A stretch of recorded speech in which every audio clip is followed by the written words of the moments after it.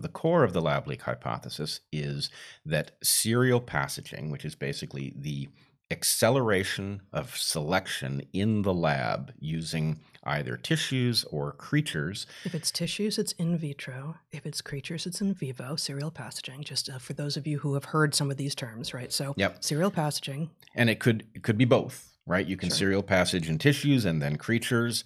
Uh, you could also But what does that look like? Why don't we actually get a get a what it looks description on the like table here? is you force an infection of a creature and then you house this is the the uh, the in, vi- in vivo version Mhm. you house the creatures together such that they are very likely to transmit the virus to each other so even if the virus totally sucks at this job it occasionally jumps and the ones that do jump therefore are the ones in the population of virus that have the characteristics that make them more likely to jump so if you do this enough what you get is the accumulation of those characteristics that make the thing better in, in jumping. And it's an exact analog for what takes place out in the world when viruses evolve on their own. And what you've just described is also that in vivo serial passage ing is a type of, it's a subset of gain of function research.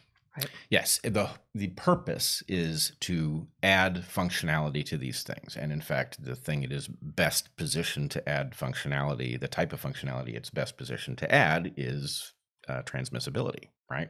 Because that's effectively what you've done is you keep asking it a transmissibility question rather than for example a how long can you last dormant on a surface question Right. So SARS-CoV-1 uh, was it was reservoired. I don't know if that's how actually people say it, but but lived in horseshoe bats. Yep. And then we believe had a spillover event into civets. Was it it was palm civets palm civets? And then from palm civets spilled over into humans. palm civets which are cultivated and consumed by people Okay. And MERS yep um, similarly was in I don't know what bats first. I, bel- think. i believe it's horseshoe bats although i would have Okay, to look that I- up to yeah. know for sure um, and then spilled over into camels. we think we think, and then and then camels spilled over into humans. Now, none of those two stories, if they're true, don't involve any anthropogenic research, right? There's no there's no human research there. But effectively, what selection is doing, to use the human imposed language, is that virus is gaining function by spilling over into new hosts. And it is not going to gain the kind of function that we're talking about with regard to serial passage research as fast because it's not being forced as fast. But you could think of, for instance, that intermediate host in MERS being camels as, a, as gain of function camels. right And you could think of those intermediate host palm civets in SARS CoV 1 as gain of function palm civets.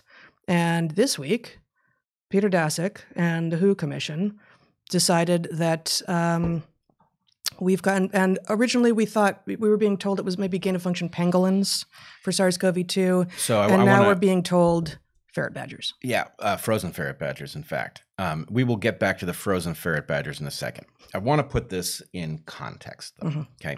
The thing, so it's interesting talking to people who are looking into the possibility of, of a lab leak. We differ on what we see as the most conspicuous piece of evidence that points to this not having been a natural spillover event. In part, those differences have to do with what our areas of expertise allow us to see most clearly. In part, it has to do with different Bayesian weightings. But the thing that jumps out to to me and many others is the fact that the virus is so well adapted at the point that it first emerges, right? And this is conspicuous in a couple of different ways. One, um, it's very much better at jumping between people than you would expect. And there is no diversity. There's very little diversity amongst the early samples. So, what we do not have evidence of is a spillover event that took place in Wuhan, took months or years in order for some viral lineage to gain the capacity to jump well between people. And then suddenly we got a pandemic. We have no evidence of that. What we have is evidence of something that absolutely hit the ground running.